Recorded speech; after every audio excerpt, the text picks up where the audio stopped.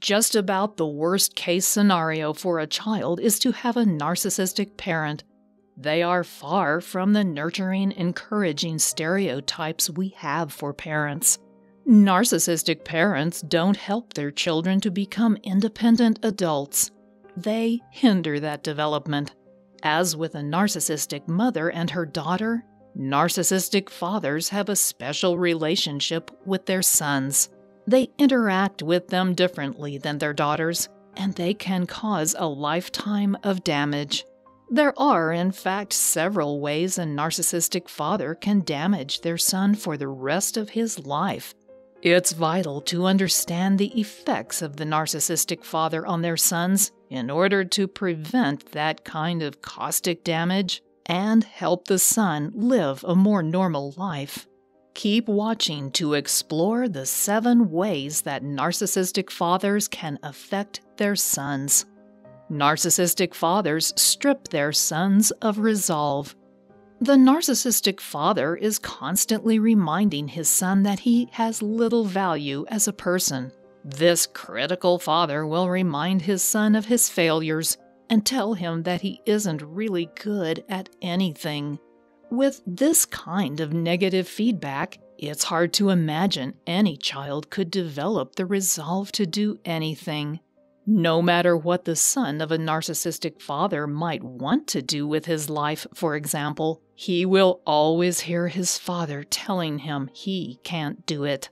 Like his constant criticism, this makes the child reticent to try anything for himself. He doesn't develop the skills to try, fail, and try again. He can't envision himself ever succeeding because his narcissistic father is telling him that he will never amount to anything. Because the narcissistic father lacks empathy, he doesn't see how this kind of treatment will affect his son. He doesn't realize that he's robbing his son of the tools he needs to become a successful adult. But then again, the narcissistic father doesn't really want his son to become independent. Without any resolve, the son of a narcissistic father will likely drift through life without any sense of purpose. He won't believe in himself, and he won't have the resolve he needs to grow into his own person. Toxic fathers make their sons feel helpless. A narcissistic father will hardly ever praise his son, and in fact, he will often angrily step in and take over a task while criticizing his son at the same time. He will make his son feel inept and helpless. He will hammer into his child's head that he is not able to do anything for himself. From the narcissistic father's point of view, the child is not living up to his expectations and that requires devaluation as a response. The narcissistic father feels as if the son is purposefully trying to embarrass him or contradict him.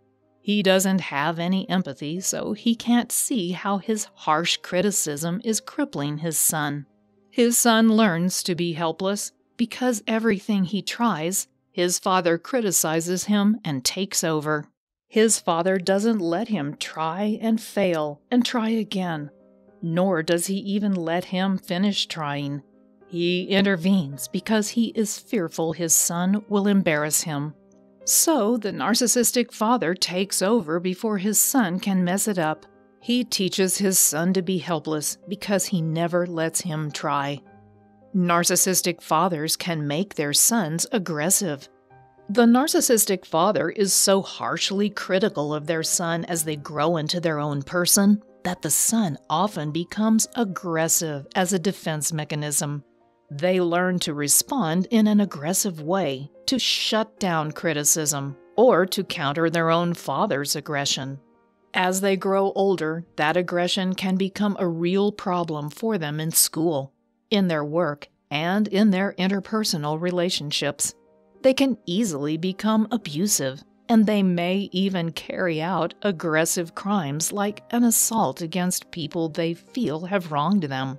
It's really a defense mechanism they're using to cope with the internal shame and sense of helplessness and ineptitude their narcissistic father instills in them. Rather than turn away in passivity, they strike out at anyone who might make them feel lesser, just like their father always did. It's a recipe for an eventual disaster as the child becomes increasingly aggressive and even dangerous. It's not uncommon for such damaged sons to end up in jail or worse. Toxic fathers can make their sons passive. If the son of a narcissistic father doesn't become aggressive, he may give up and become exceedingly passive. They are constantly telling their sons that they are incapable of doing things or can't do them well. That can cause the son to simply give up on trying. They opt instead to just drift through life with little reaction to what is going on around them. They've learned to be helpless, and they've learned through the years of emotional abuse that they can't make a difference. They come to believe the lies their father has told them about how disappointing they are, and they give up trying. They don't have any ambition or drive to improve themselves. In fact, they may show very little emotion at all. The children of narcissists must learn to recognize their parents' moods and suppress their own emotions to avoid conflict. They can learn this so well that they numb themselves to any emotion whatsoever. Narcissistic fathers may make their sons passive aggressive. Sometimes a narcissistic father causes their sons to respond to life in a passive aggressive way. Passive aggressive behavior is when someone expresses their negative feelings in an indirect way instead of openly talking about them. This creates a disconnect between what the person says and what they do. An example of passive aggressive behavior would be if someone knows you're self conscious about your weight, but they continue to call attention to it with a backhanded compliment.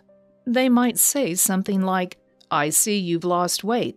How much more weight do you need to lose? It seems like they're complimenting your weight loss but they're also calling attention to the idea that you still need to lose more weight. There are a number of different passive aggressive behaviors a son might exhibit toward his narcissistic father. He might, for example, be habitually late. Lateness is a sign of disrespect, and it is likely to bother a narcissistic father very much. Sarcasm is another example of passive aggressive behavior that the son of a narcissistic father might adopt. Narcissistic fathers cause their sons to have problems with intimacy. Narcissists have problems with intimacy because they know they can't let someone get too close. If they do, they will see their flawed true self. For that reason, they keep everyone at arm's length. The son of a narcissistic father, however, learns that they can't let anyone in because that person may make them feel bad about themselves. They fear the criticism that they have always received from their father. They don't want to get too close to someone else because they fear they will see all the flaws their father has told them about for years. They are ashamed of who they are and they don't feel like they deserve intimacy with another person. The son of a narcissistic father may also become a narcissist himself, and if that happens, he will avoid intimacy for the same reasons his father did. That is, he doesn't want anyone to see his truly flawed self. Narcissistic fathers fill their sons with shame Finally, all of these behaviors that the narcissistic father exhibits toward his son serve to fill his son with shame. They harshly criticize them, humiliate them in public, rarely offer praise, and then only when it serves their purposes, and they teach them helplessness. Just about everything a narcissistic father does to his son fills his son with fear and shame. If his child doesn't become a narcissist, he will likely become codependent. Either way, his child will suffer the effects of narcissistic abuse for the rest of his life.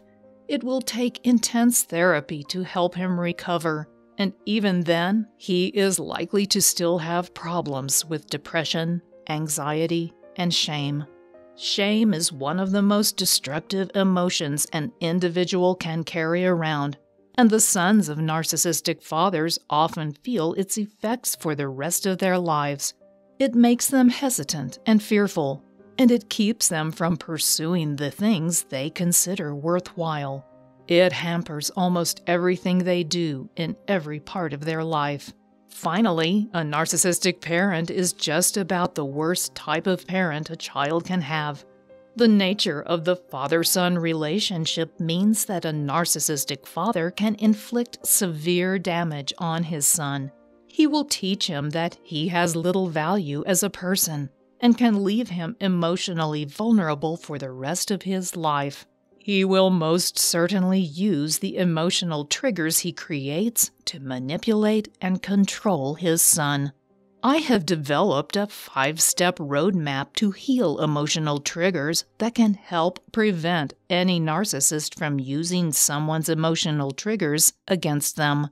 This free guide will help you identify, diffuse, and even heal the emotional wounds that created those triggers. That will give you control over your emotions and keep a narcissistic father from manipulating you ever again. Just click on the link below the video and I'll send this handy guide directly to your inbox. Thanks for watching.